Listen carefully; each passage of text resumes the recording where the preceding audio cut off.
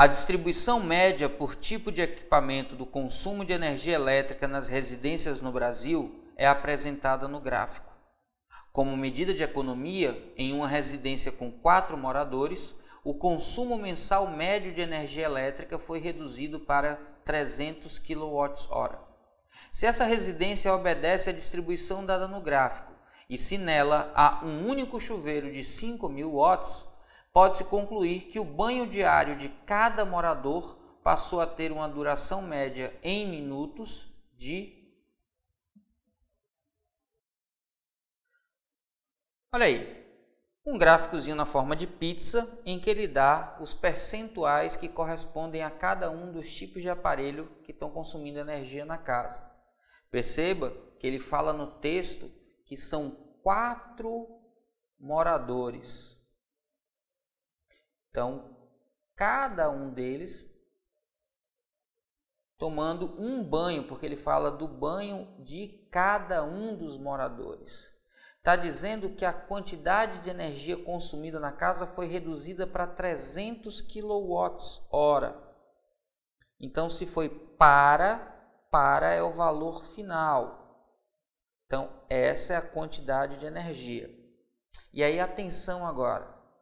Essa quantidade de energia é consumida de acordo com a distribuição que está nesse gráfico. Entre outras coisas, a geladeira consome 30%, ferro elétrico 5%, chuveiro elétrico 25%. Então, como ele quer saber do banho diário no chuveiro, eu preciso saber quanta energia o chuveiro está consumindo. Pela distribuição, 25% da conta, 25% de 300 kWh. Ora, 25%, isso aqui é uma fração, é 25 centésimos. O de do dá tem significado de multiplicação, então é 25 sobre 100 vezes esse valor total aqui de 300 kWh o que significa que a energia do chuveiro, simplificando dois zeros em cima, dois zeros embaixo, 3 vezes 25 dá 75 kWh. Essa informação é importante, vou destacá-la aqui. Essa é a energia total ao longo de um mês consumida só pelos banhos. Ora, mas são quatro moradores que tomam um banho, porque é o banho ou o banho diário. Então a gente está falando aqui, ó, artigo definido, o é um único banho. Então são quatro banhos por dia. Por que, Ives, quatro banhos por dia? Porque são quatro moradores. Como é na conta mensal, então eu tenho que considerar 30 dias. Quando eu faço essa conta, eu tenho que ao todo serão 120 banhos. E o que ele quer saber não é o número de banhos, ele quer saber a duração do banho. Como é que eu relaciono essas informações? Eu preciso me lembrar que a quantidade de energia que é consumida corresponde à potência que é utilizada vezes o intervalo de tempo. Ora, se eu estiver falando da energia de um único banho, eu tenho que considerar a potência do chuveiro, que ele diz ser de 50, ou aliás, de 5 mil watts. E aqui o tempo, que vai ser o tempo que eu quero saber, que é o tempo do único banho. Atenção, porque como a unidade de medida aqui é quilowatt-hora, a nossa potência tem que estar em quilowatts. 5 mil watts são 5 quilowatts e o nosso tempo vai estar em horas. Quando a gente substitui, presta atenção agora, olha só, 75 é o valor da energia em quilowatts-hora. 5 é a potência em quilowatts. E o tempo de um banho, aqui não é de um banho, aqui é de todos os banhos.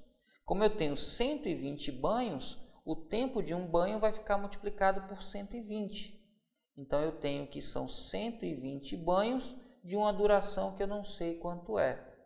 Ora, para encontrar a duração desse banho, eu vou passar 5 vezes 120, que é 600, dividindo a potência a energia total, que é 75.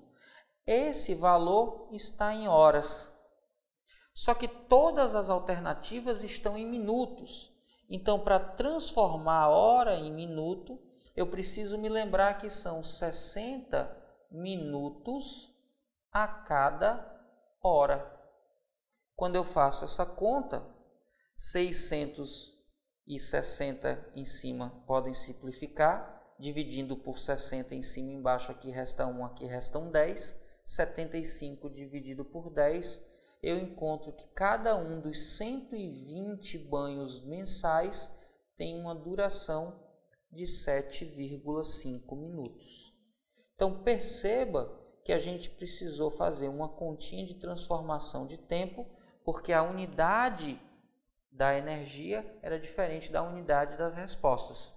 Mas é só isso. A gente calcula quanta energia corresponde ao conjunto dos banhos calcula quanto é o total do número de banhos. Lembra que energia é potência vezes o tempo, então se eu usar a energia total, eu tenho que usar o tempo total, que é o tempo de um banho, vezes 120, já que são 120 banhos. Por isso ΔT aqui 120. Então, quando eu passo dividindo e transformo a unidade, a alternativa correta é a da letra C, C de coisa fácil, tranquilo, quando a gente sabe o que fazer. Vamos juntos, fera? Esse é seu ano.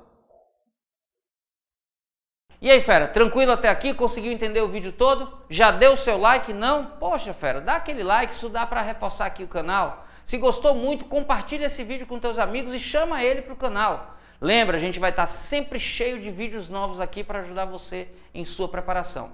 Agora, fera, se você quer de fato uma preparação completa, vem conhecer meu site www.fisicatotal.com física.com.br, o maior site de ensino de física da internet brasileira. Lá você vai ter, além de 400 vídeos com aulas cobrindo todo o conteúdo de qualquer vestibular ou Enem, ainda mais de mil exercícios resolvidos, listas semanais que tem roteiro de estudos, que tem material com resumo questões de aplicação e exercícios exclusivos com a mesma metodologia utilizada no Enem. Temos turmas para medicina e nelas faremos aprofundamentos específicos.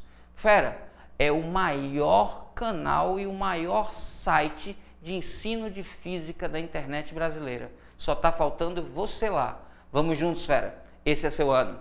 Lembre que você pode.